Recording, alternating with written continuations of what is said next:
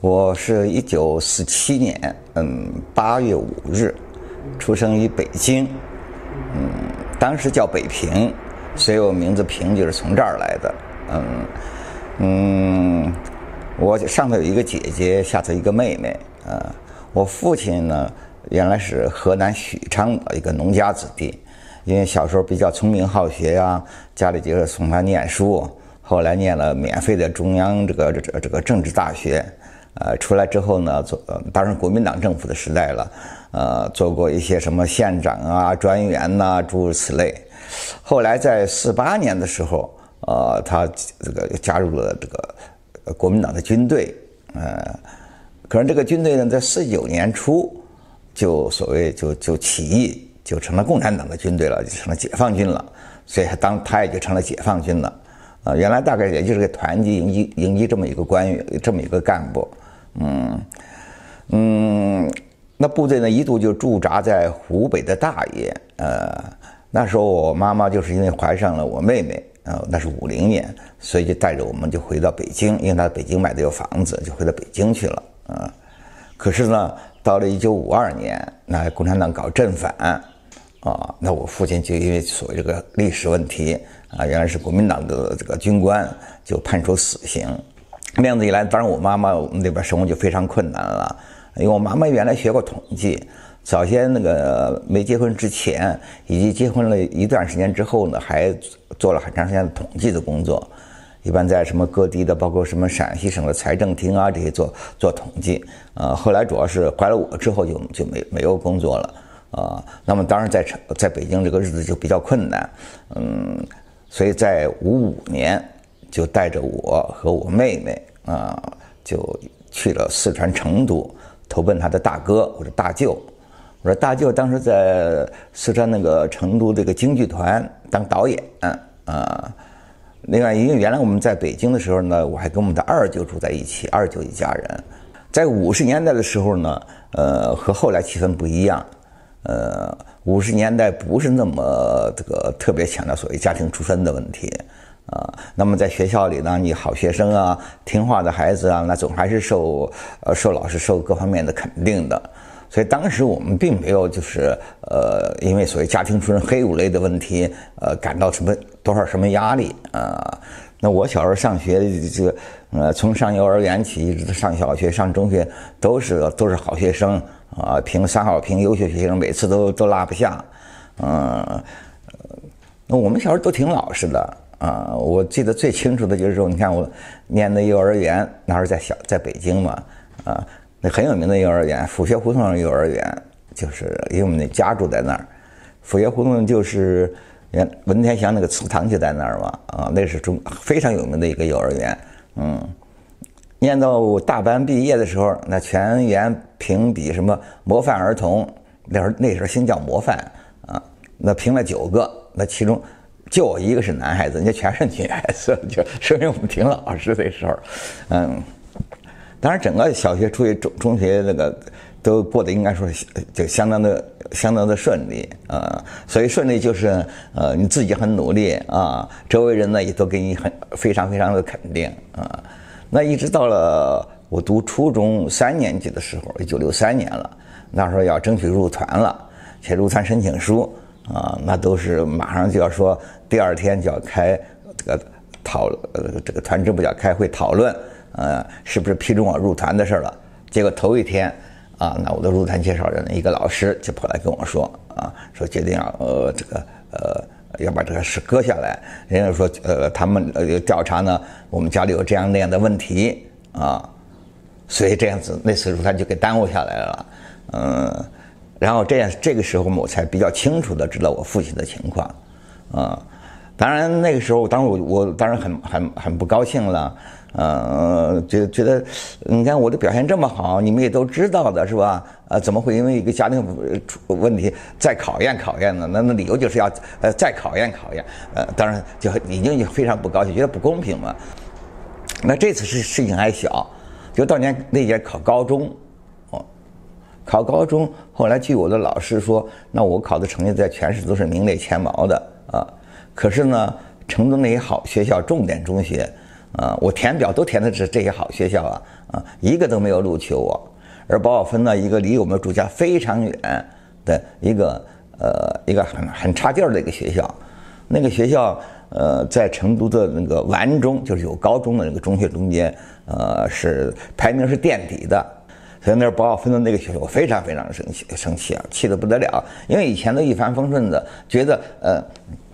得了这样得那都是理所当然的，因为我自己又很努力嘛，是吧？呃，结果所以那时候让我非常气愤，就觉得就是太太不公平，我就觉得太不公平啊！当然你后来没有办法，就还是只有只有去啊啊！那最初去的时候那还好啊，因为你是好学生嘛，所以去一去那学校还是班上啊，那老师啊还是非常重视啊，推举我去呃做什么学生会的干部啊等等啊。可是紧接着到了六四年啊，那么这个所谓阶级斗争就越讲越凶。那在学校里头，这个所谓讲究这个家庭出身问题就变得越来越重要。所以到了文化革命的时候，那时候搞什么血统论、老子英雄、老子革命儿好汉、老子反动儿混蛋。那时候我们学校也是搞什么呃阶级斗阶级路线辩论会啊。那辩论会上，结果三天半的辩论会，两天半是在批判我。啊，等后来，当然我当然就很不服气，我上台都去就就去据理力争。等后来我看到，呃，在一个朋友那儿，一个同学那儿看到那个呃北京就是玉罗克的文章啊，《出身论》，当然感是是就是感到这个这个这就引起很强烈的共鸣，而且觉得他所文章所谈到那些就是原来我想的。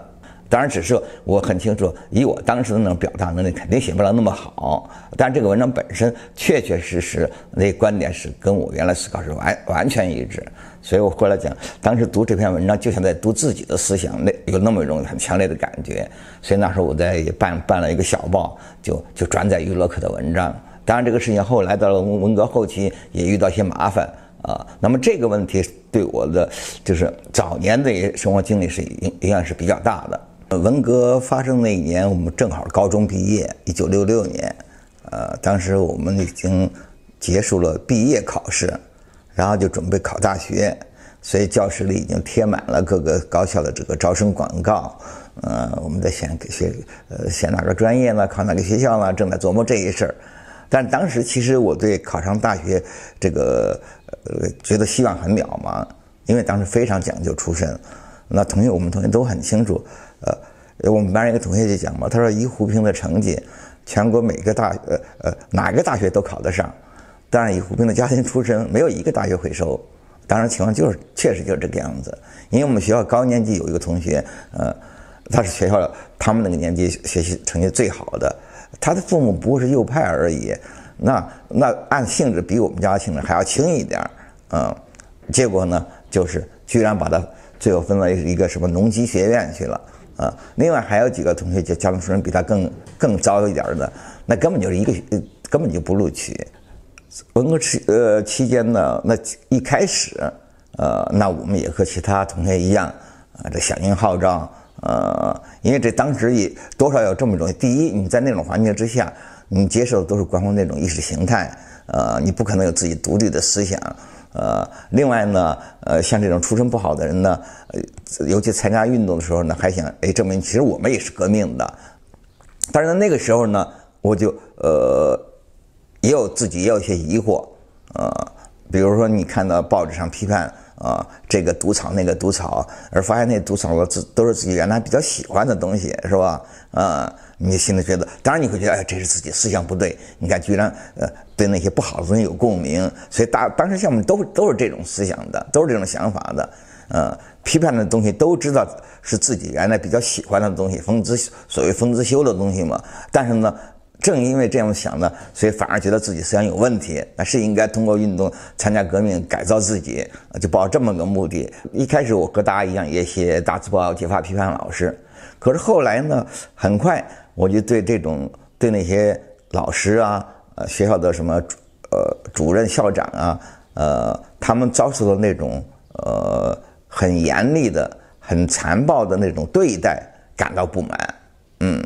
因为当时那很多学校就是都是学生自发的，或者是在工作组的某种这个呃暗示鼓励之下，把这些所谓有问题的老师就就关入牛棚，也就是让他们呃不准回家，把专门叫他们居住到一个地方，叫他们去劳改啊，做做些最呃扫厕所啊最脏最烂的活儿，而且还对他们那个这个这个放肆的打骂侮辱。嗯，那么对这个事情我就就还就有些不满了，嗯，因为从理论上我们也认为啊，这老师是资产阶级知识分子啊，或者修正主义教育路线，批判是应该的，我们也去批判，但是觉得这么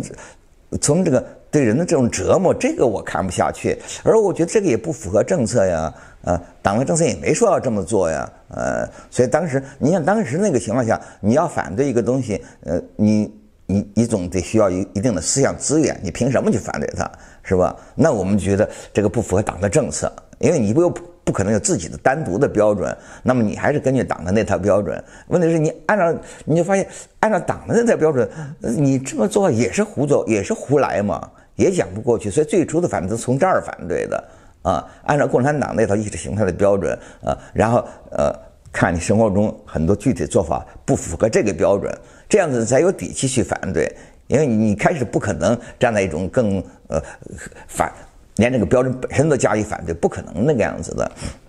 啊，所以当时我们，我当时就对这呃对学校这些老师校长这种粗暴的对待很不很很不满，这种这种残暴性很不满。所以到后来，呃呃到了秋天那不是就是中央也就上面已经毛那变了政策是吧？就是所谓批判资产阶级反动路线，他突然反过来了。啊，就是居然号召大家，呃，对前阶段，呃，工作组啊、领导啊做了那些事情去加以批判。这个文革中的一个最大的一个特点，以前嘛搞运动都是，呃，领导整整大家，啊，嗯，而那次呢，文革中间居然出现这么一个插曲，就毛泽东居然就号召大家去群众去批判领导。啊，所以这么一来，像我们这些原来就受压的，前段时间受受压压抑的，那当然就觉得很受鼓舞。所以那时候我在学校，我们就贴大字报啊，就就呼吁所谓造反的大字报，就是要求把这老师被关进牛棚的老师统统解放出来，给他们平反。呃呃，所以我在文我在我们学校文革做两件事情，一个是给呃带头把这些关到牛棚的老师都解放出来了。呃，第二呢，就是反对血血统论，就办小报批判这个东西。呃，那是一九六八年年底，那个时候，呃，学校已经所谓走上正轨，呃，都成立了革命委员会，主要是工宣队、解放军军宣队进来，呃，实际上接管了学校，呃，然后开始搞什么这个清理阶级队伍。所谓清理阶级队伍呢，因为在运动运动前期，曾经一度。把那些所谓有问题的老师啊，什么都解放了嘛，都从牛棚牛棚里出来了，啊，可是到了运动后期呢，又来算账了，又以清理阶级队伍为为名，把很多所谓有问问题的老师啊，呃，又重新关进了牛棚，打入另册。另外呢，也开始清理学生中的问题。所以在那个时候呢，我也成了清理的对象，呃，被所谓这个学校他们办一个学习班，美其名叫学习班，其实等于强迫你天天去。啊，叫你去检讨啊！当然我们不检讨，呃，就于是就僵持在那儿啊。后来我同学告诉我呢，把我送去学习班呢，就是说我两条，一条说是，呃，我我为牛鬼蛇神翻案，就是运动替老师打抱不平，把老师解放出来了。当时解放出来了，后来有后头有些老师又当成牛鬼蛇神又抓进去了，所以就说我们替牛鬼蛇神。另外呢，就是我办小报登于洛克的文章，呃，因为当时在呃曾经一度于洛克的文章很流行。可是后来很快，中央文革小组就讲话，就说于勒克的文章是大毒草，就受到批判。嗯，因此呢，在工宣队那解放军那里呢，那肯定我们办那个小报是有问题的。嗯，但是呢，他们又调查一下呢，说呃，同学也告诉一些，说这个胡平跟北京就是那些人就是。办娱乐课小报那人没有什么组织上的联系，因为我我劝来我根本没有去北京，啊，所以这是我单独的行为，所以就没没有特别当个事儿来追究。玉罗克，一九四二年五月出生于北京，因父母均为右派，高中毕业后不被准许进入大学。一九六七年一月，与朋友创办《中学文革报》，发表《出身论》。一九七零年三月五日，在北京工人体育场排山倒海的打倒声中，二十七岁的玉罗克被判处死刑。这个，所以这个这些事情对我后来的思想还是有很大的影响。呃，因为这个我们对自由主义的这种追求，其实最早就是来自于这种残暴现象的不满啊。就是你要觉得不管人他思想有什么问题，呃，那人家还是把应该把人当当个人来对待啊。呃，如果他思想有问题，那更应该就在思想里头，你可以去批评嘛，嗯，你不要去整人嘛。简简而言之，就是对整人这种现象的反感。嗯，这这这和后来人们确立起一种这个要保护基本人权的概念，就是紧密的联系在一紧密的联系在一起的。嗯，因为这点事实上也是西方他们发现言论自由、发现自由主义的一个一样的和我们共同的一个轨迹。他们最初也是对这种呃以一种理论、意识形态为理由对异端。呃，异教加以残酷打压的不满，以及对于别人有思想信仰的不同，就是对人生迫害对这个事情的不满，嗯，由此产生了自由主义，由由此产生了人们认为有些东西、有些领域是必须保护的，人们的思想的领域、信仰的领域、言论的领域是不能够侵犯的，不管别人想什么、信什么，啊，那么同样，文化革命它正正在这点上给人们一个很就是很很严峻的。这个一个教训，然后这个时候，那就十二月二十一号，那报上登出毛泽东、毛伟大领袖毛主席的最新指示，指示青年那个到农村去接受贫下中农再教育，嗯，那么这个号召一来啊，当然全国各地那当然就必须得这个响应啊，就上山下乡运动就由此开始。那当时我呃，我们当然也都去报名，呃，就我们学校呢是下在。四川最南端的渡口，现在的攀枝花，呃，那个地方一部分呢是在呃云南，因为在当时五八年的时候，在那儿发现了很多铁矿，所以后来就把那儿当成了一个新的钢铁工业基地。有大概二十个同学，就分到一个集体，分到一个生产队，这个算是很多的了，一个集体户。嗯，有的执执行他是一个人、两个人去一个生产队。我们是因为我们这二十个人呢，也是文化革命中就是算是一个战斗队的啊，关系比较友好啊。这么一去就分到在那个农村，呃，那么开头大家在农村里呢，我们干活干活都挺努力的。呃，这个你看我们那个队还算比较富裕的队，呃，一年每天的工分值大概就是一开始下的时候大概八毛多钱。到第二年、第三年就变成九毛多一块钱了，呃，那个在当时中国中算相当富裕的了。当说某个地方它的工分值是多高的时候，意思就一个全劳力干一天可以挣到那么多钱。嗯，我们那儿把我们去的同学都是呃呃，不但能够经济上能够自立，就是吧，呃，等于吃和呃，主要吃和穿这些用处都能够自己负担，而且很多人还能还能攒点钱啊。还能攒攒点钱，那当时当时卖干活都很卖力，而且呢，在那儿同学也在那儿，有的去等于自己呃当起什么赤脚医生，帮农民看点病，学点针灸，呃，然后有时候回到城里买点药。那那时候农村根本没有药嘛，呃，给他们呃，然后教给农民办点夜校，教他们认认字，然后还在或者是呃做点别的事情。比如说这个呃这个种地种庄稼啊需要农药，然后怎么样这个执行毕竟懂点知识嘛啊怎么去研究怎么样配置好的农农药啊诸如此类，这也是我们都干得很努力的嗯嗯，反正在那段时间之后呢，你因为你离开了文化革命，离开了城市，呃，那么什么事情就有一个就是更更不同的一个思考的角度。这个干活之外呢，当时我们也尽量找些书来看，可是那时候能找的书非常少。有时候偶尔听到哪个朋友那儿有本书，那就是跋山涉水跑到人家那儿去看，呃，看了就马上就得还，或者有偶尔能借个一两天，赶快把他的好句子就抄下来，当然很辛苦。呃，然后大部分书你看不到，只能呃一些理论性的书你根本就看不到，西方那个原著根本看不到嘛。嗯，你像，我还记得，你包括哲学的方面的书啊，包括经济学方面的书啊，那都是只有看共产党的教科书。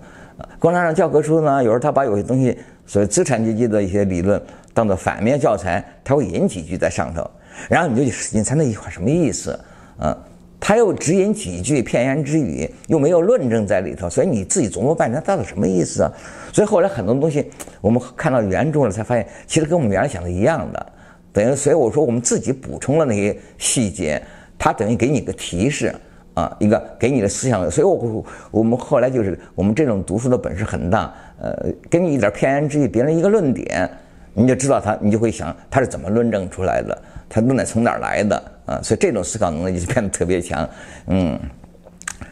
呃，那么到了那个时候呢，所以当然我已经对这个共产党这个这个整个制度有一种很强的批判精神，嗯，我记得就是在七零年的春天的时候。我们跟几个好朋友也插队一块儿的同学聊天，我就很清楚的怎么表达，就是说，就是我们生活的这个制度，这个是是历史上最暴最暴虐的一个制度。那毛泽东是那真是中国历史上最大的一个暴君，就是非常对他们就是呃这点人应该是非常非常的清晰。嗯，但是最大的苦恼就是说，呃，那我们怎么办？我们怎么办？嗯，所以那个时候我们只知道很多人。呃，就是因为思想，呃，就受到严酷的迫害，很多就被枪毙的嘛，呃，但是他们思想是些什么东西，那我们根本不知道，不让我们看见的。那布告只是说了某某某思想一贯反反动，猖狂呃疯狂攻击伟大领袖党和伟大领袖毛主席，但是怎么个疯狂法？他说到底什么话那没有的啊，那都看不到的。所以这就是后来我们看那个阿伦特那个。那个思想家研究极权主义的说嘛，说极权主义它使得殉道变成不可能，很多人为一种思想去死啊，在过去再会坏的坏的时代，人家至少还让你说出你的思想，我们还知道你是为了什么哪个思想去死的啊。那中国古代杀头了，还准你在上刑场前嚷呃吼两嗓子呢，人家还知道你是在为什么死，对不对？现在根本不让你说话。就像张志新的时候，把你喉把你喉管喉管给你割了，是这个样子的。所以现在你你像林昭，我们知道林昭是很偶然的呀，他在监狱中很偶然的允许他可以写，很偶然的他写的东西被留下来，很偶然的他留下的东西传到了外界，而大部分被抓进监狱的人，你根本没有写的，不让你写东西，写的东西就给没收了，早销毁了。所以，很中国共产党统治以来，很多人为思想、为言论而死，但是他们的思想、言论到底是什么东西，外界根本不知道。所以，你当殉道者都当不成，不让你当，当不了。张志新，一九三零年十二月出生于天津，三个孩子的母亲。文革期间是中共辽宁省委宣传部干事。一九六八年，对同事透露对文革很多事情不能理解，遭秘密举报，因拒绝认罪。一九六九年九月十八日被捕入狱，在狱中遭到殴打，头发几乎被拔光，遭到强奸、轮奸。一九七五年四月四日被枪决，四十四岁。临行前被割断喉管，脸扭曲的没了人形。林昭，一九三二年一月出生于苏州，一九五七年是北京大学新闻系三年级学生，被打成右派。一九六二年因攻击无产阶级专政罪，被关押于上海市提篮桥监狱。一九六八年四月二十九日，被中国人民解放军上海市公检法军事管制委员会下令枪决。三十六岁，林昭在狱中用血书写，在《告人类》中写道：“我经历了地狱中最最恐怖、最最血腥的地方，我经历了比死亡本身更千百倍的。”更惨痛的死亡。我觉得我们看到那像我同学，我认识的人好多好多啊，就是嗯，有的还是零敲碎打的一点思想，很偶偶然的写了封信，呃呃，或者呃呃悄悄的写了个匿名大字报，呃，或者是同学中间、亲友中间写信，透露出所谓反动思想，呃呃，因为这样那样的缘故被当局查获，那一关就是多少年，有的就被枪毙掉。这种我们都见的太多太多了，嗯，所以我觉得一定我们不要成这个样子，一定要要开辟出一条道路出来，而我相信一定有这条道路存在。我说在极权主义构成的这个呃这个这个这个围墙中间，一定有有这么一两块砖是可以移动的，不是说到时候铜墙铁壁没有，一定有，一定会有的。不可能有这种全能万能的这么一个统治者，他可以造这个制度本身就是天衣无缝，使得任何反抗者都只有呃呃呃，只有碰壁，只有失败，不可能的，我不相信有这个东西，嗯，所以从这个意义上，我觉得言论自由它重要在这儿。除了它是整个自由社会的一个基础之外，本身这个道理之外，呃，所以后来我言论自由其实很大程度是讲讲讲这个问题。当然，一般他读的不是很注意，光光是读注意我对言论自由本身这个的阐述，是吧？为什么言论自由？言论自由？其实我很大的程度就是就是它是反我们反对极权主义、反对专制制度一个一个突破口。七零年左右出一个事情，呃，那就是因为刚好那天那次成都。一个地方发生了这个抢劫银行、杀杀人的事件，啊，然后那个成都市的公安局呢，就对那段时间刚好回了城的知识青年当成重点嫌疑犯，呃，而我们那个好几个同学，当包括我在内，刚好那会儿都回到成都，然后就调查，一直调查我们到生产队那儿去，嗯，当然一查都没没什么问题啊。但是呢，他们那时候叫叫什么一案带多案，就顺便问你们这儿知青的情况怎么样啊？有没有这样那样的呀？啊，然后就同学就说啊，这个胡平他要读点那些书啊，马列的书啊，这啊那个那公安局就就很警惕，说这些读马列的书就是要就是要反对毛主席的，啊，然后跟公社的那个一交换意见，公社的人本来就知道我们家庭出身有问题，就觉得就觉得我问题很大。所以后来就组织了一个批判会，在生产大队开我的批批斗会，批判我什么资产阶级反动思想，呃，当然没有，呃，虽然那段时间我有确实有很多反动思想，呃，但是呢，跟这只是跟特别要好的同学才有交流，跟一般同学交流的并不太多，所以他们也批判不出个什么名堂。但是我就觉得这很很就很艰难了，呃，你这样子一来，你在农村你就就永远不能翻身了，啊。你这本来你这个状况就他等于成了后部牛鬼蛇神了嘛？你在那儿处境就非常恶劣，所以我想我必须得得离开这个地方才行，呃，要不然整个事就全呃这个全给毁掉了，嗯，所以那时候呢，也就是在批斗会的当天呢，我就晚上我就想了一个想出一个计划，呃，那个时候只能我想我只能以这个病残的名义会才能离开那个地方。呃，那么那个时候已经有同学呃冒充病残的了，是吧？呃，找朋友熟人医生开个假证明，冒充什么肾炎呐，冒充这些诸如此类的，有可能。我觉得我肯定不能那么做，我只能来个货真价实的才行。所以我当时就构思，就想了一个计划呢，就是呃呃制造一起事故，呃制造一个残废，这样子呢他就就可以回城了，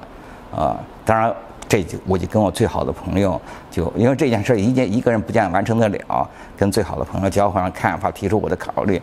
当然他说这个事情是不是太残忍了点儿，是吧？有没有那个必要？我觉得那当然有这个必要了啊。然后过了大概一年多啊，我记得很清，这七一年九月十二号夜里晚上，那还刚好一个朋友在远地的知青啊到我们队里来，呃，然后大家一块儿宵夜。啊，那我我就跟那个同学就按照原定的计划，啊，我假装我们在那个大家一块吃饭嘛，在厨房大厨房里头，嗯，我就在那烧火，啊，他就准备灌水烧开了，呃，准备给温水瓶灌水，然后叫他倒水的时候呢，就故意洒，呃，我这边砍柴，让他把那个水呢就洒在我身上，这么一烫一惊呢，我就趁这个机会就就砍砍我的手，砍断我的手嘛，对，呃。那边旁边他们都在吃饭呢，也没谁注意，我们就砍砍，我就拿那个刀就砍在手指头上，呃，结果砍了一下觉得不行，又砍了两下，要砍了三下，啊，当然那骨头都看见了，是吧？呃，呃，然后呃，同学一看，哦，那以为就是我不小心，就是让让开水给激的是吧？所以就就就就就呃就砍到手上了。然后赶快跟那同学说：“那我们赶快，那怎么？说赶快去去找医生去找医生去，因为我们队就挨着附近就挨着渡口市的武，呃市级机关武器干校，我们跟武器干校的人很熟。我们当然我就跟那同学一块儿就就离开了呃呃厨房，我们就到附近武器干校去。在路上我就告诉他，呃，出来的时候我说不行，我这还得补补补补火才行。当然，因为我们早就有商量，我们这个同学刚好在队里当当兽医，他有把很好的小手术刀，就把那个手术刀带上。我们一块儿走走到快到武器干校那儿一个小河沟那儿，啊，我就下去，我说你你把手他那个河边那个石头上，我把手指头搁在那儿上了，我说你拿刀夹上去，把它把它把它再再拿石头敲一下是吧？啊。他就把刀搁在那来敲，也也敲了一下，他敲他不敢敲嘛，他有点有点紧张。我说你得使劲敲才行，结果也是敲了两下，敲三下，啊，那个指头弹起来了，都都马上马上就要掉了，因为它刚好底下不是平，底下石头不平，有个小缝，呃，所以就那有那一点皮连着。我说行了行了，可以了可以了，啊，然后赶快上来，呃，还还。把赶快用水把那周的血迹给它冲掉，是吧？呃，然后就带着我们就到就到了医务室，找了医务室。医务室他说：“哎呀，这个赶快打打个针止血。”说我们这看不了，赶快送到医院里去。啊，他们就诶，他们公社他那个武器看有个有小小吉普车，就载着我同学一块儿送把我们送到附近的那个呃大哥区的医院。啊，路上还出事儿路上过河的时候，那个那个车轮打滑，半天出不来。结果还附近很远地方找这些人，农民呐什么来帮着一块推推推，才把车推出来。也路上耽误两三个钟头。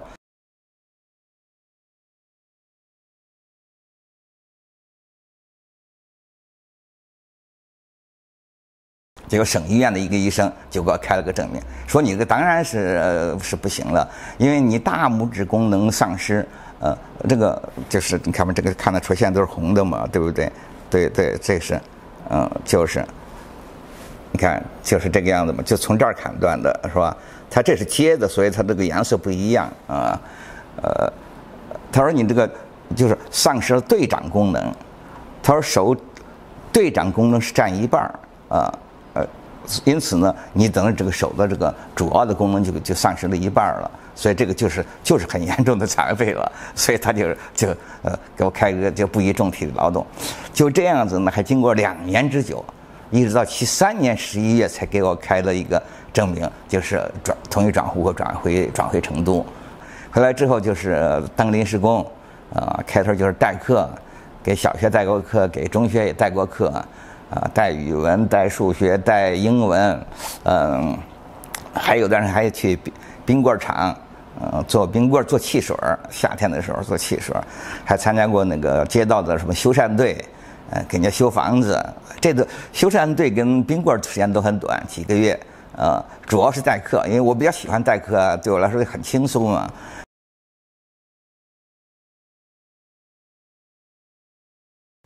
回到成都之后，当然首先是生活的压力减小了，呃，这样子可以自己可以有更多的余暇时间。呃，阅读和朋友交谈、思考。呃，另一方面呢，政治压力也小了。毕竟城里人多，呃，鱼龙混杂。嗯，不像在农村，你是生活在以我那那种处境是生活在一种高度的监视之下。那么在这种思考之下呢，所以我才就对这个言论自由，嗯，这个问题就是呃，这个发生了很大的兴趣。嗯，在我看来，当然，你这个专制制度，首先一点，呃，最重要的一条，那无非就是呃，钳制人们的言论。嗯，而你，而我们所经历的这个呃，经历的各，尤其是文化革命啊，它对思想、对言论那种严制、严厉打压，又到了空前未有的程度。那么反过来呢，它也会激起呃更多的人对这个自由的一种渴望。所以在当时，嗯，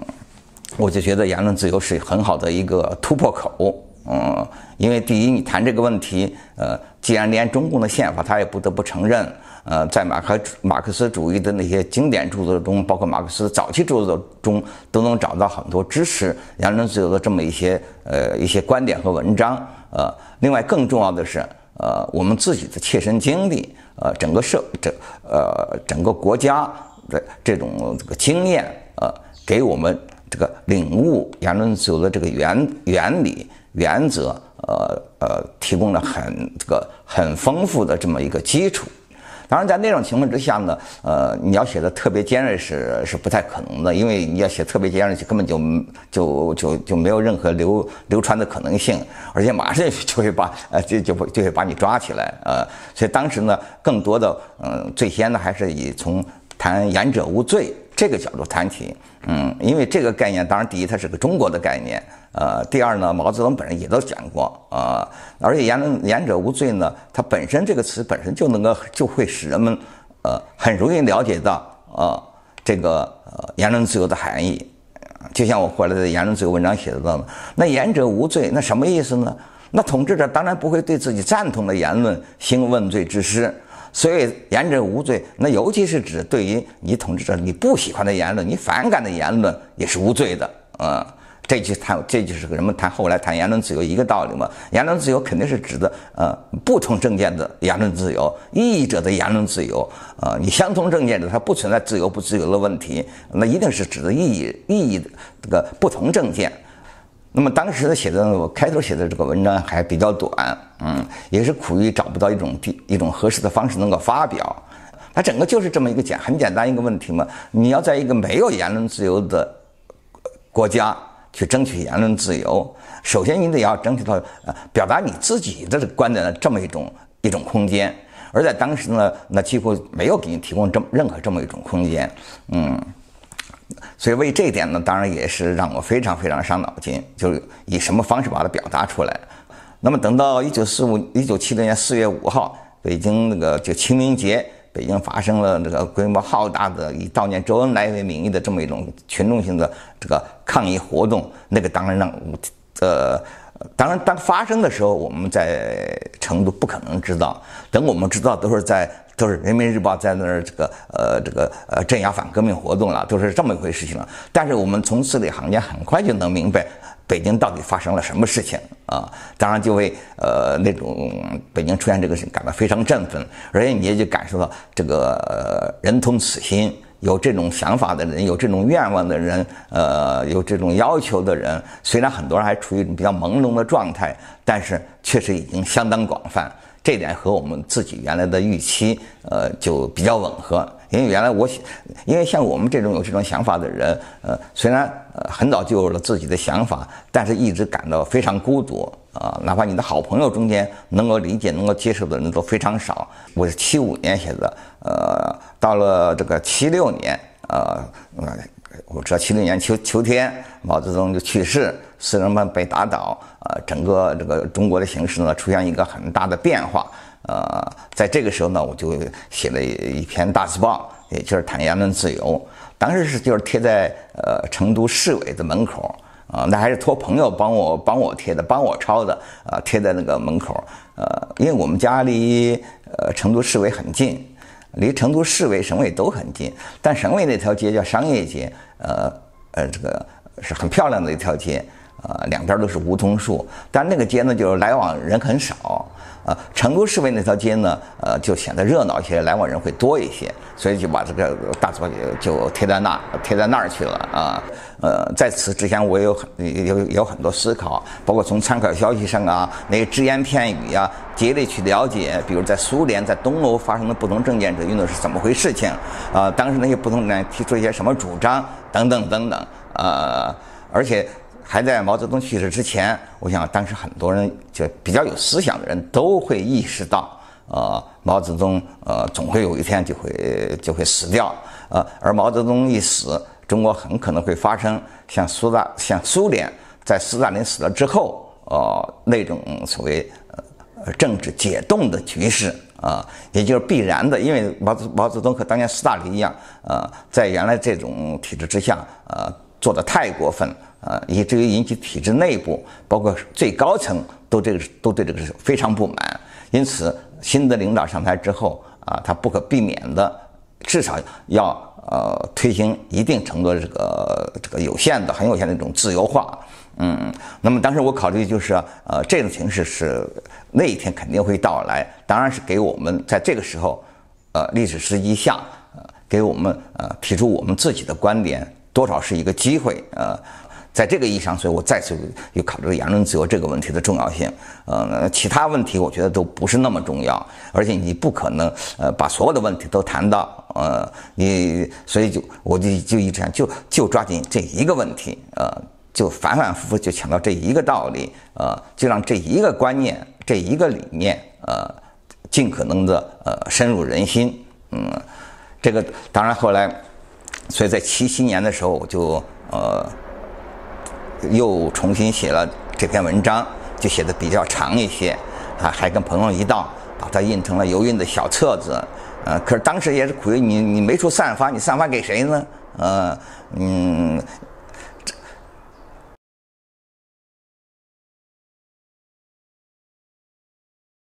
七七年恢复高考，呃，我们当然很高兴啊，赶快去报名。哎，可是成都很可恶，当年成都出了个土政策。就是病残执行都不准报名，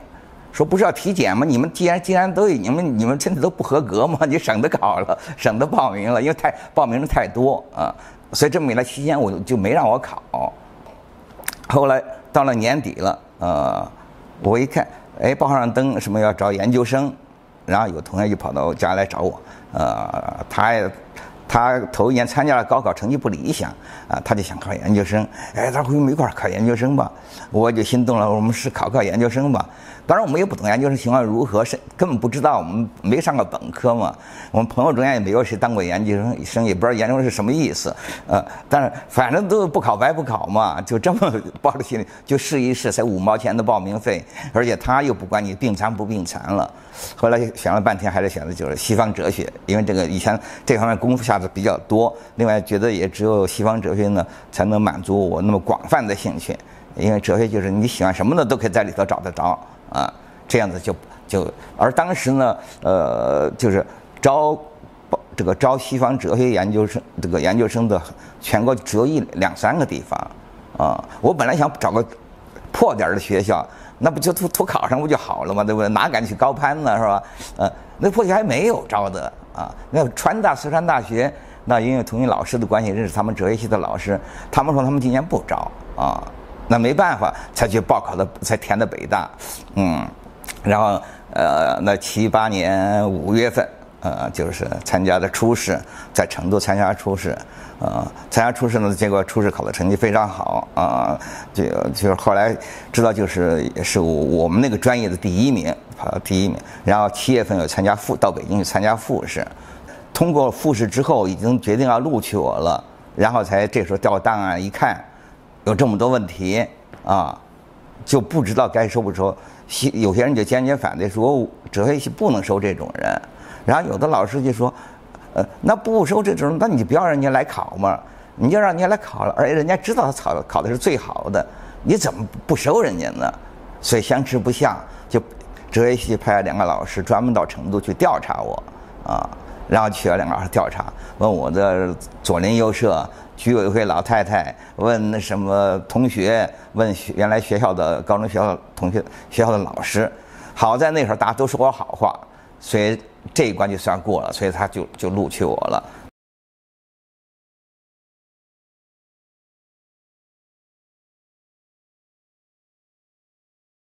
到了北京，嗯，我本来是带着那个手稿那个稿子去的。啊，就想着，呃，到了北京之后应该有有更好的机会。那么在这种情况下，很快我们就看到了这个民主墙的出现。啊，当然我看了也非常振奋，就赶快去呃想办法去和民主墙的人联系。啊，联系了之后，呃，这个大概原来也谈过吧。啊，就是和呃他们后来先是认识的北岛。呃，我就给他谈了言论自由的我的想法。北岛说他们的今天刊物是文学性刊物，呃，他说你这个政论性的呢，呃，他们不登政论性的东西。然后他就呃介绍我给另外一些朋友，说这些朋友在准备办一个新的刊物，一个综合性刊物。这样子我就认识了呃这个呃江红他们啊，他们后来就一起就办了叫沃土的这么一个民间刊物，呃。呃，我和他们交谈呢，也当然首先也谈到了我我这个关于言论自由的这种思想，呃，当然他们都欣然接受，所以我就又赶着写了这个言论，又重新写了言论自由》这篇文章。这次呢，我就写的题目就是论言论自由。其实也就是在北大，也就只有两个来月啊。可那两个月来月呢，就阅读了很多很多的东西。呃，因为毕竟对付专业啊，对付学习呢，对我来说还是比较轻松的事。我们那些一届研研究生，只要是我们这个专业，呃，那教授还是放羊，呃，所以不怎么管你。呃，那么到了北大之后，你当然你能阅读的书就特别的多，呃，包括特别是研究生，呃，你可以进内部的书库，很多它不对外不开放的，那你研究生可以随便在里头看，啊，所以在那段时间，我觉得包括一些西方很有名的自由主义论著，都是在那个时候才阅读到的，包括中国的也是，我都在那个时候才阅读到的，这个对于我写作肯定有毫无疑问是是有有很大的帮助，嗯。这是这个七九年民主墙那一篇这个论言论自由啊，第一，它的篇幅比原来几稿要长得多，就是已经有四万字左右，嗯，而且呢，呃，论证的呃扎实，呃，引经据典，各个方面都要比原来强很多，嗯。那文章我现在手里没有原稿，呃，不过台湾当年出版过一套。大概有十几本甚至二十几本，就叫《大陆地下刊物汇编》，其中就是把全国各地民主强时期全国各地的民间刊物上的文章，几乎是搜罗殆尽。嗯，我的《论言论自由》那篇文章也在也在其中。嗯，这个这套书，我想现在不要说在台湾。包括在美国的这些，像哈佛大学啊、哥伦比亚大学啊、普林斯顿大概都有收藏。可是呢，和这个这个文章发表之后呢，当时呃也也确实引起不小的反响。呃，只是这个反响呢，离我的期待、离我的预期又差得太远。嗯，因为我本来想，呃，既然呃这个中国经历了文化革命这么一种深重的灾难。一定会有很多人在思考同样的问题，因此一定我提出的问题一定会得到很多人的呼应，而且事实上呢，在那段时间呢，哪怕在官方的报刊里头，都也也确实有些文章。就很明确地谈到言论自由的问题。至于民主强的人，那你看民间刊物里头，几乎个个都在谈这个问，都都提到这个问题。但是当然他们没有特别着力的把这个问题当成一个重要的问题。但是在呃很多文章中一谈，那大家都都会提到这个这个问题。嗯，那我的想法就不一样，就是说，我觉得就要现在就要集中精力，就谈这一个问题，把这个事情给它谈谈透彻。呃，然后呢，让这个问题成为一个公共话题，嗯，那么如果它一旦成为公共话题了，这种理念深入人心了，那么以后你要，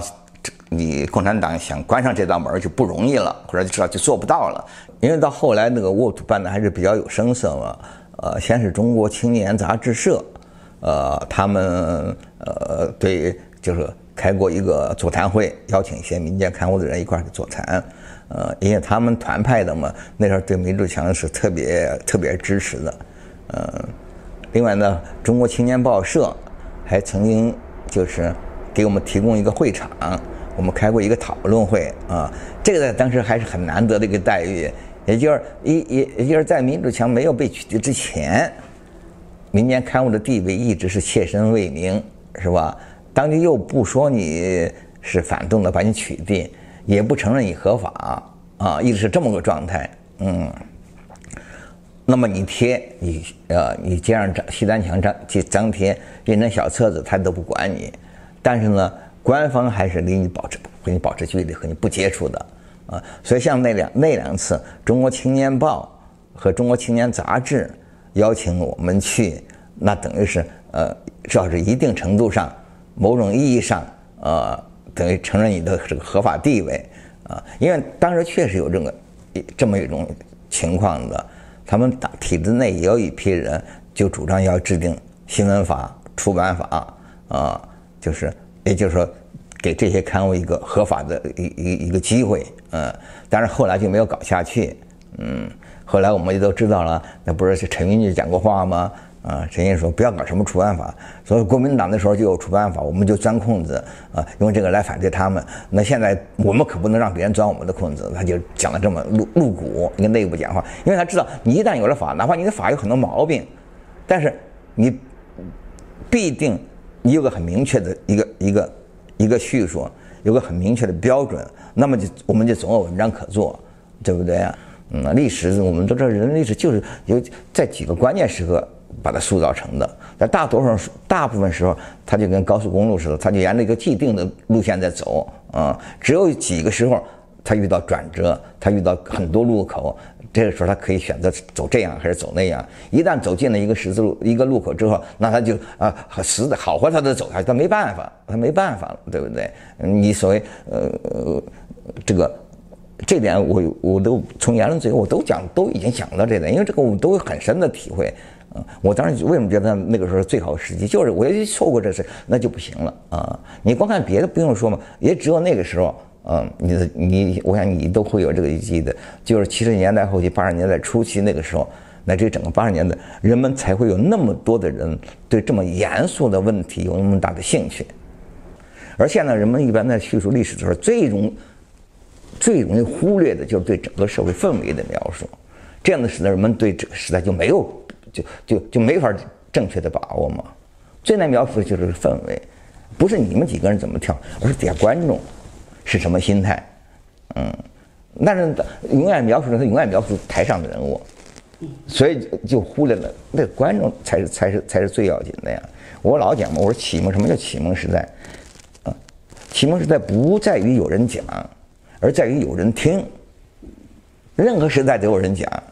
对不对？任何时代都有人，但是很多时代只有某些特定的时代才会有很多人竖起耳朵听，所以思想有时候可以再发生非常大的作用。我们历史上为什么看到有些思想起了那么大作用呢？你说那思想特别高明，那也不见得，那别的思想也也不差，它就赶上那个时候了，在那么重要的历史转折时刻起到那种作用了。嗯，那我觉得本来是你这个毛去世就。提供了这么一个历史契机，使得我们有可能创造历史、改变历史啊！但是我觉得非常失望，就是没有那么多人重视这个问题，以至于所以这个我觉得让大好的机会这个白白的白白的流失。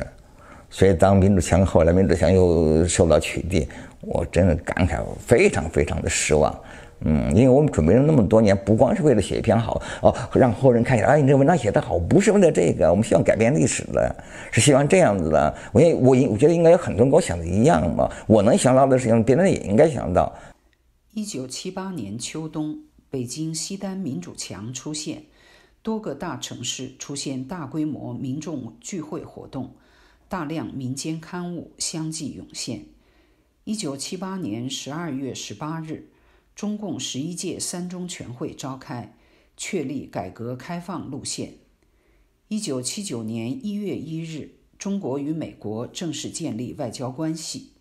一九七九年一月十八日，胡耀邦主持召开理论工作务虚会，数百知识分子和意识形态干部参加，议题广泛，讨论活跃，被称为党内民主墙。一九七九年一月二十九日，邓小平访问美国，与美国政府签订科技交流等协议。二月至三月，中国对越南发动战争，教训越南。三月，北京开始查禁民间异议出版物。三月二十七日，魏金生和多位异议人士被捕，魏金生后被判刑十五年。三月三十日。邓小平提出坚持四项基本原则，核心是坚持共产党的领导，坚持专政体制。四月初，理论工作务虚会提前结束。四十年后进行回顾，一九七八年秋天到一九七九年春天几个月里发生的事件，已经包含了中国后毛泽东时代的基因图谱。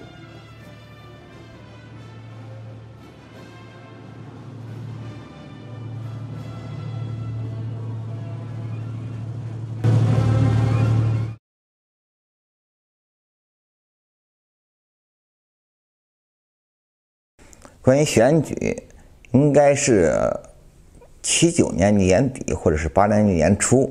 呃，当局呢就呃推出了新的选举法。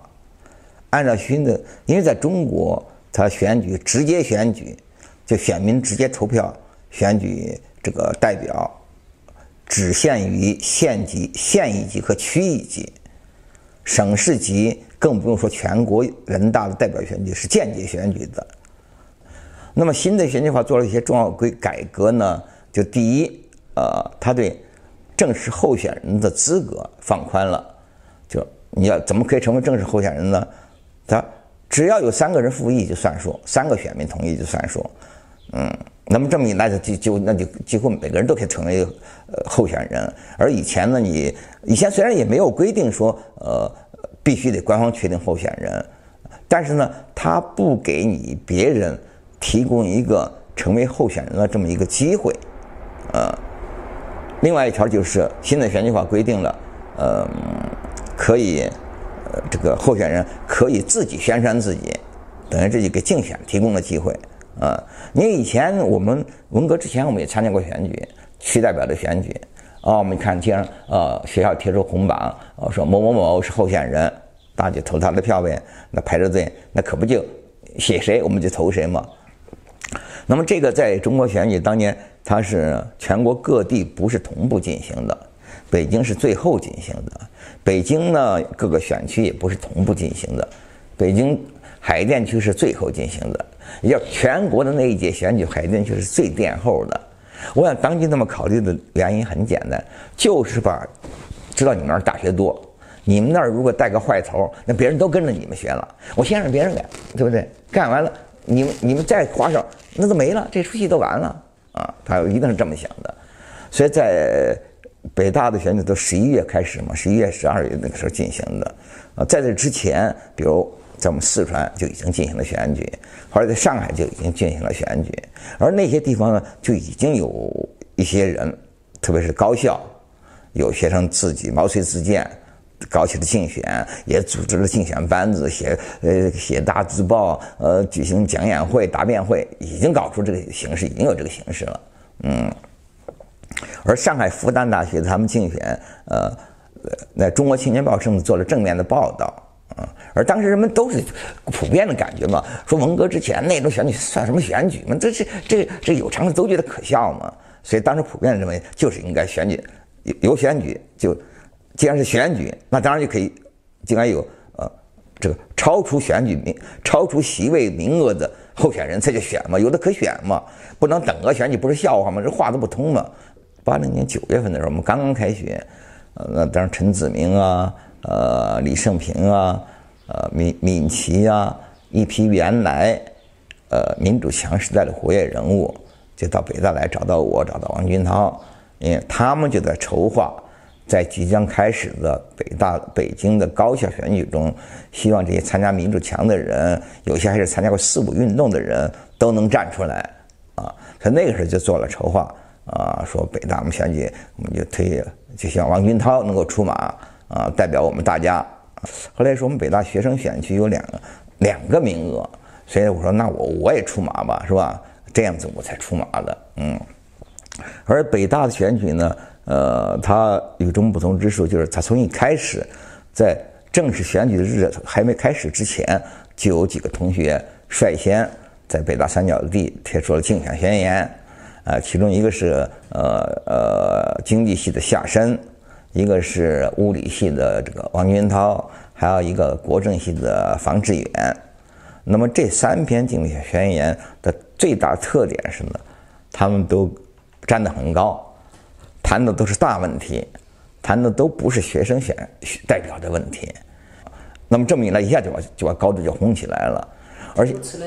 呃嗯，什么天下大事？啊，就是谈政治改革啊，进进行改革，谈对文化革命、对毛泽东的看法，就就谈这些大问题。啊，换言之，谈的都是和区代表毫不相干的问题。啊，就等于把一开始就把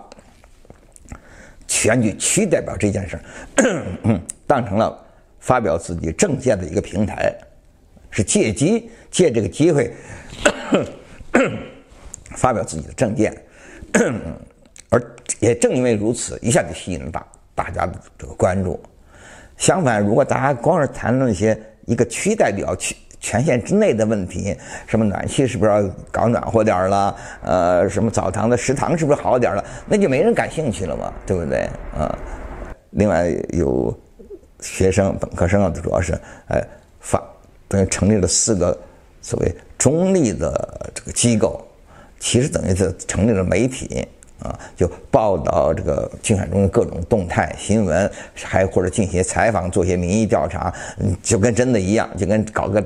所以人家说你北大选区人民代表就跟选总统似的，谈的都是宏观的大事儿，是吧？而且那些所有人参与那种姿态那个样子，完全是搞成那个样子的。嗯，我胡平，北京大学哲学系欧哲史专业研究生，自愿并获得所在选民小组及其他若干选民的复议。决心参加这次海淀区人民代表的竞选。我有一种强烈的意识：当前这场活动有着好几种不同的、具有现实可能性的前景。除非我们及时的、有力的抓住了事变中最关键的一环，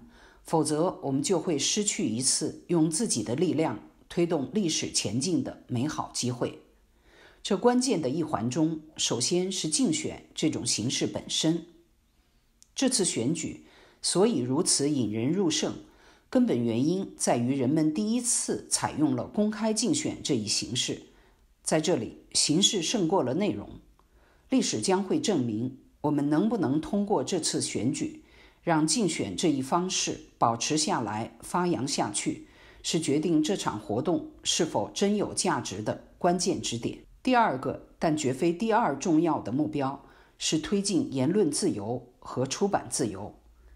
言论自由与出版自由是公民最基本的政治权利。从希特勒的法西斯主义到四人帮的全面专政，我们可以从中发现一条政治学的重要规律：当代专制主义与古代专制主义不同，它不是公开的作为人民的对立物而出现，恰恰相反。他们是以最直接的表达民意作为自己存在的根据，而为了做到和维持这一其赖以生根立命的假象，垄断舆论是他的第一步，也是最重要的一步。因此，我将努力推进言论自由和出版自由的实施，有力的敦促符合民主精神的新闻法、出版法的制定。一九八零年十一月七日。然后还举行了两次答辩会，就在学校办公楼礼堂。嗯，那礼堂不，你知道不算大，呃，但是等于是在北大是最正经的一个礼堂了。嗯，那第一次办两次答辩会来的人都非常多嘛。嗯，那都是说下午七点半，那是几点钟开始的？那都是提前一个多钟头就就水泄不通，就挤不进去了嘛。嗯，就讲，当然一个是第一次是讲言论自由，第二次讲民主和法治。啊，也有很多人在答辩会上提出一些各种各样的问题，那个当然都比较好应对了。所以两次答辩会呢，也都是呃，大概产生是效果比较好。另外呢，呃，就有些同学，本科生的同学啊，就自愿的把我那个言论自由和这个我又经过修订的，在沃土之后我又修订过一次，啊，把那个把它嗯。刻印出来就是油印出来，就油印了大概两百份每班这个每一个班发两份啊，所以那个那次就是在只要在北大的学生中间是几乎每个班都都都能看得到。那个六万字啊，你看好长，还他们还有六万字给我贴写成大字报贴出来，另外有油印的贴出来，所以那个那次当然就是呃那次影响面。嗯，肯定比沃土那次比农民上的那次更大。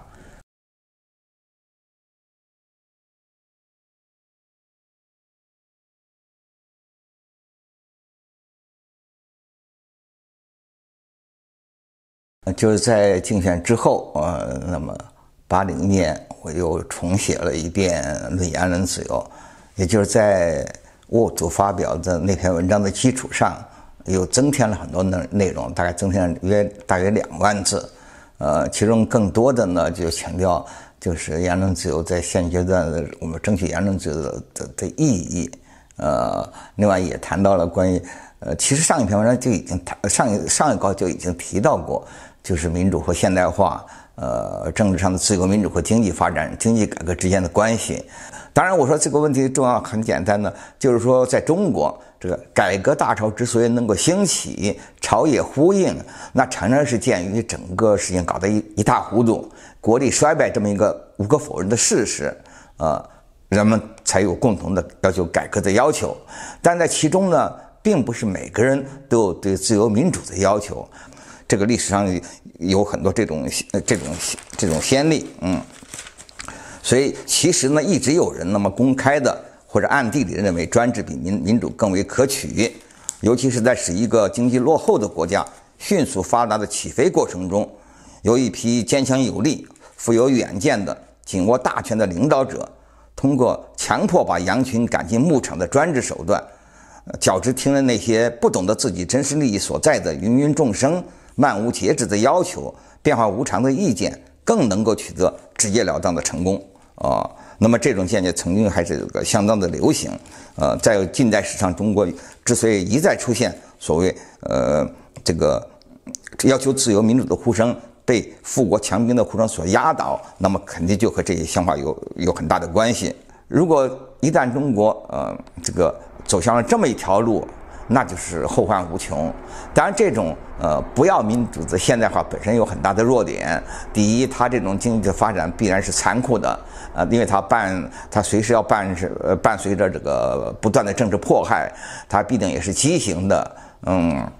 另外必定它也产生很多内部的问题等等。那么这一点，当然你在今天看起来，呃，好像是一种呃是是一种预言，嗯。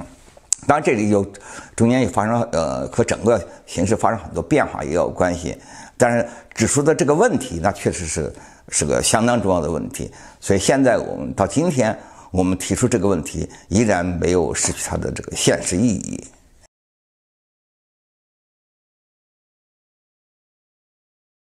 竞选完之后，呃，这个第二年的春天，也不到春天吧，反正刚开始。人大的几个同学有几个同学，他们就想把呃，所以想把竞选的成果巩固下来，再发展下去。因此呢，他就想召集呃全全北京各个高校的竞选那个活跃分子，包括选上的人或者出来竞选候选人和一些当当竞选班子的人关心的人啊，串联在一起，在人大一个教室开了个会。结果呢，开到一半段的时候，他们中中国青年报一个记者就来找我来了。那个记者因为原来就民主强的时候就跟我比较熟，嗯，他就说，他说胡耀邦那边都听到什么消息，觉得这说是不是这学生要搞什么反党活动了，很严重把这个事儿啊。我就说不是，我们就是开一个什么座谈会。我说有有录音的啊，结果把录音交给他了，结果他当然带回去，是不是给胡耀邦看听了我也不知道，反正这个事儿最后就算了啊。也就是说，你看当时就开那个竞选完之后开那么一个一个自发组的一个一个座谈会，都会引起最高当局那么紧张啊，就说明他们对整个竞选是非常厌恶、非常反感。这样到他最后毕业的时候呢，别人都还没什么受很大影响啊，主要是我们，因为我自己很清楚了，呃，尽管在当时很多人看起来我，包括很多学生看起来，在北大选举中间啊，那这个。王军涛算是激进派，张伟呢算是温和派，那我算是既激进又温和的两派之间的。其实我当然知道，肯定在当局眼里头，有些人也肯定我算是最激进的，是吧？嗯。但是呢，果然到后来，我所呃知道的上头最最在意的就是我啊，就是我这个是呃不不能，而且认为竞选人中间就是我的思想特别有系统啊，等等等等，反正是把我看得最紧。另外，在选举之前，我其实是在北京，我们这个学术界这个圈儿就呃就就已经是呃就是小有小有小有名气吧，啊，所以我们这个专业的那些那些前辈们，很多人都认识我，他们本很多人都愿意，本来都都巴不得我去那儿呢，结果每一次都是呃要下调令的时候，嗯，另外一条看不见的手给挡住了。嗯，所以那时候北京各个单位，除了北大之外，什么人民大学啊、师范大学、北京外语学院、北京二外，呃呃，还有什么政法大学、呃中国社科院、大百科全书出版社、商务印书馆等等等，人民出人民文学的人民出版社的哲学也也这个编辑室等等，凡是和我专业对得上口的，北京的单位几乎都联系过，或者他们都找过我。这中间就有一段时间内，那就成他们肯定上他们内部黑名单了，就包括。那我们老师都知道啊，那时候马上要出文集，就是外国哲学研究的文集，呃，新他们新创刊的，本来就收了我一篇论文的，一说，哎，说你是不是得换个笔名？嗯，啊，就是哄上头的，因为大家都知道是我是谁是谁谁写的，叫哄上的，就换个笔名。所以有段时间有那么。八一年、八二年、八三年，有个两三年、两年多时间内，我发表文全是用的笔名，全都不能用真名字。等到到了八四年、八五年呢，呃，整个这个气氛变得进进一步活活跃，呃，那我的处境当然也进一步好转。尤其是呃，他们当时那个武汉青年论坛是八四年底成立的，他们成立之初，呃，就到北京来。呃，那几个人到北京来，想拉拢一些作者、读者，是吧？啊，也就跟我们一块吃过次饭。当时他们因为就是因为进他们的都看我那篇文章，非常感兴趣，就说说现在他们还不敢不敢发表，发表不了，呃，等过段时间再说。所以一年之后，他们就登了我的那个《论言论自由》嘛。呃，登了《言论自由》之后呢，接着马上就在北京搞了一场这个呃座谈会，就讨讨论我那篇文章。当时来了很多人呢，后来很多人都都在上头啊，包括什么，不要说什么陈子明、王军涛，也包括什么呃这个呃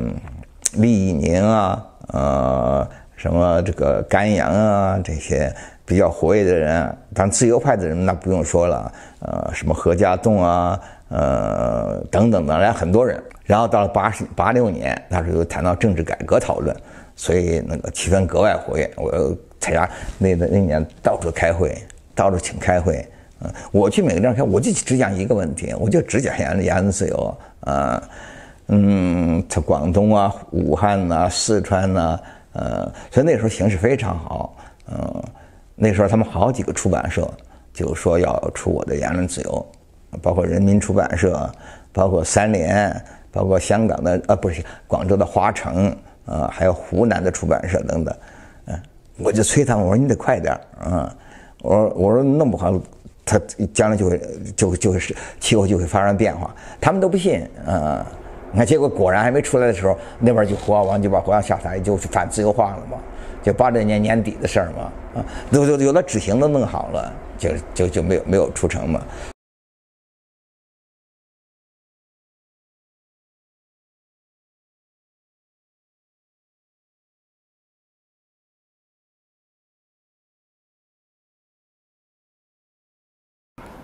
我是八七年一月七号来到美国，呃，在哈佛，呃，这个读这个哈佛的文理学院的这个政府系的呃博士研究生啊。那读了一年呢，我就就就停学了，就到纽约来了，因为那时候就参加这个海外的民运组织中国民主团结联盟，呃，然后这个被选为主席，然后以后就基本上就是呃全时的参加这个海外民运。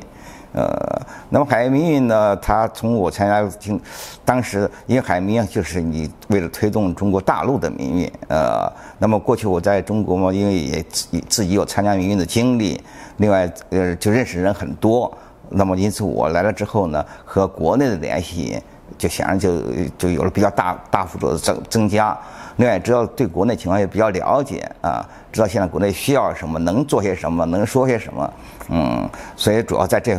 另外后来很长时间是就在办杂志上头，特别是在早先没有互联网的时候，呃，那么就是纸质的媒体是当时在海外，就像就是我们办的北中国之春、北京之春是影响力最大的。嗯，所以在那么多年来，你可以说国内的这些老中青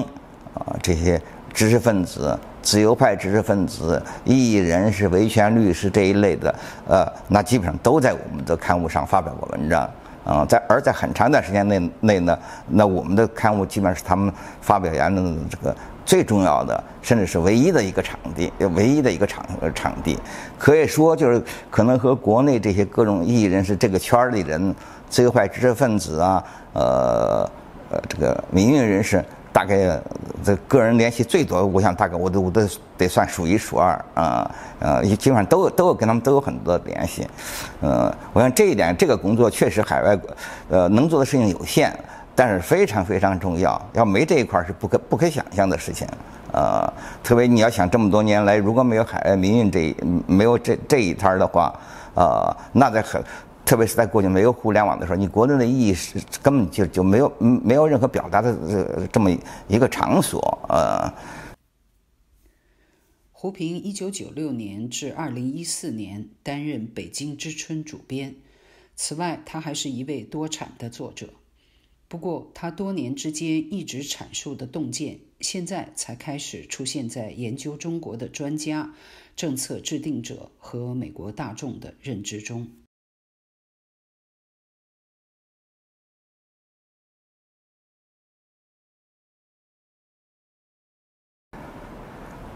我母亲是九九年去世的，呃，在她这个病重的时候，呃，这个。当然，我也非常想回去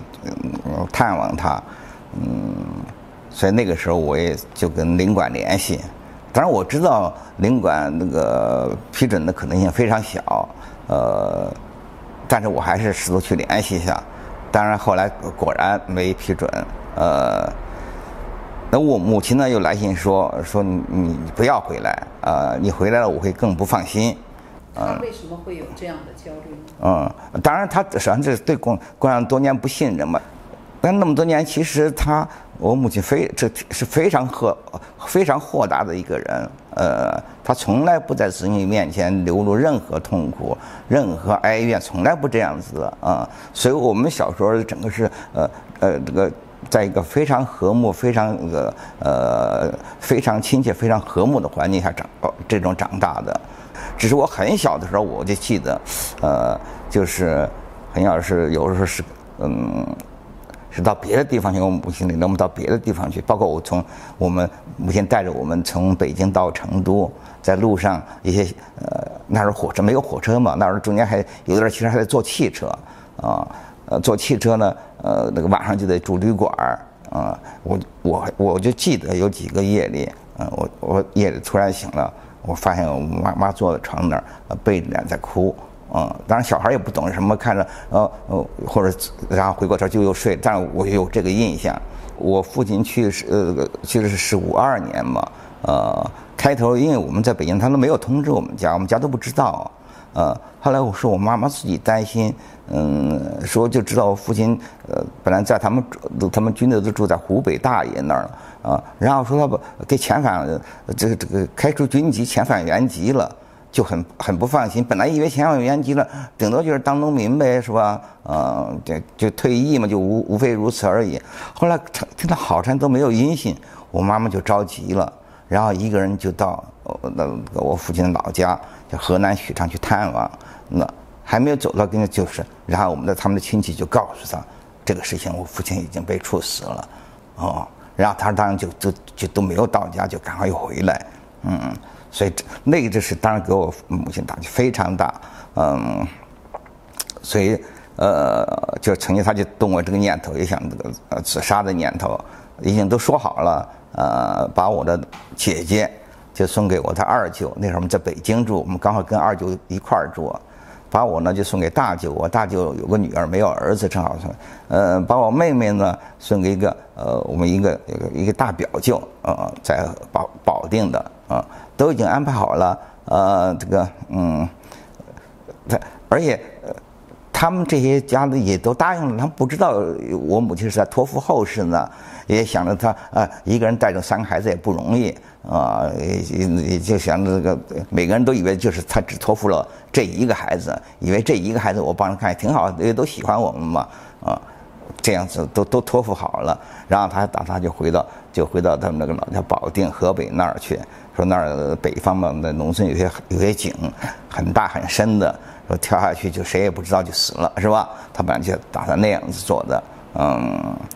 后来当然后来还是狠不下这个心。主要就是想着这三个孩子，呃，不能没有了父亲再没有母亲，所以就咬着牙活下来啊，就是这么几十年就这么。呃，我刚才跟你讲，就我母亲那么多年，但是她一直在孩子面前从来不没有任何流露啊，呃，非常坚强，嗯，一直到一九八四年、八五年的时候，呃，就是我们收到许昌的法院的那个平反通知书，然后呃，我和我妈妈又回到老家，呃，给我母亲上给我父亲上坟，在坟前，我母亲就是就是捶胸顿足的哭，那个很深的印象，我从来没见过母亲那个样子。嗯，我母亲非常坚毅的人，嗯，从来不在孩子面前，不在任何人面前流露出痛苦。这次，哎呀，真是让我看非非常，那我想起来了，嗯，三十年他一直压抑着这种痛苦，嗯嗯，所以他自己也说了嘛，他在那次回去之后，整整病了一个多月起不来，就是嗯，这压抑的太太深太长，嗯。你看，我到美国之后，他基本上一个月至少两封信，呃，所以我那儿厚厚一沓子的信，嗯。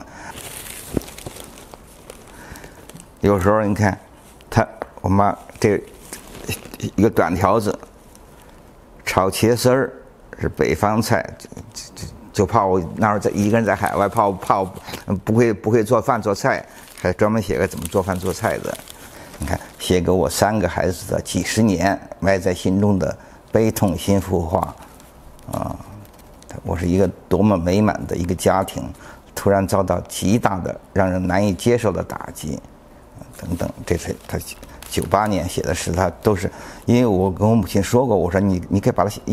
写出来嘛，他把他信写的写的非常好，所以他写了整整几万字，我们家里的整个的这些等于像个家史一样的，啊。这些我有空都要好好整理整理。哎呀，我有时候就想起来也是，你看我写了一辈子的东西，结果我这些我最该写的东西我还没写。写给我三个孩子的几十年埋在心中的悲痛的心腹话。我是多么美满的一个家庭呀！突然遭到了极大的、让人难以接受的打击。五二年农历九月九日。我的最亲的人，丈夫蔡大同被镇压了。四十六岁，正在英年的生命，丢下了我及三个孩子：燕十一岁，平五岁，静还不满两岁。这叫我怎么生活下去呢？女子死了丈夫，是人生最不幸的事。但我更难受的是气愤不平。主要的罪，就是正校毕业后，抗日前干过警察局长，江苏县份的和上海的分局，但解放时从军起义的，凡是起义人员，共产党中央的政策，毛主席的命令发下的，起义人员过往一切概不追究。可是拿着这个命令，他被镇压了。当时还不敢声张，连哭都不敢哭，实在不能活下去，太难受了。只有一死，才能解脱这非人所能经受的痛苦。我是一直瞒着，没和孩子们说，我不愿让他们幼小的心灵受这打击。后来我想好了，先安排三个孩子，燕就留给二哥嫂。平给大哥嫂，他们没儿子；静给大表哥嫂，他们无儿女。于是就把小静送到保定。我只说我要工作，带不了他。如他习惯了，你们也喜欢他，赶明儿就给你们吧。大表兄嫂可高兴呢，回北京过了月一个月。又去看看，小静已习惯了，他们对待的可好，我放心了。我就准备去重庆看大哥，宋小平，稍住住，把小平留下。当然也是说要工作，回来时过许昌。乡下大井多得很，门口不远就有一个大井，晚上趁人不备跳下算了。发现了，又有人管，我再写下遗书，让他们寄北京。主意就这样打定了。那时我半年多来，白天强打精神，不显露的生活，晚上半夜半夜的无声哭泣，又怕惊醒孩子，又怕二哥嫂听见。后来我又千思万想，看着孩子们，不行，不能死。我一死解脱了，但三个孩子无父亦可怜。怎么能叫他们再无母，还要把他们分在三处？既然生了他们，就得负责养育他们，咬牙活下去。我一个人要用两个人的爱抚育他们。这样一想，好像眼又亮了，坚决咬牙活下去。我先卖西安的房，后卖首饰。卖什么都不心疼，只要不让孩子生活过得苦。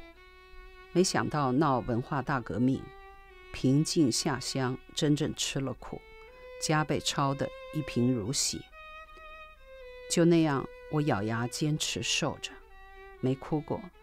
也没看到过我愁眉苦脸，也没和任何人诉过苦。我真没想到我还能高寿。这十多年，我可说不操心、不劳力，儿女们都笑，境况也都不错。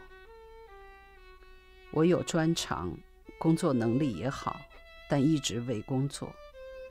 我心中对这个社会仇恨，不愿工作，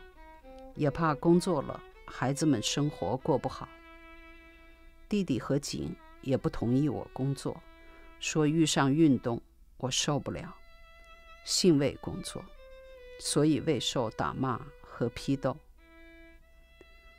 我不能当面说，如说我就忍不住伤心，所以写也是几起几落才写了这一篇。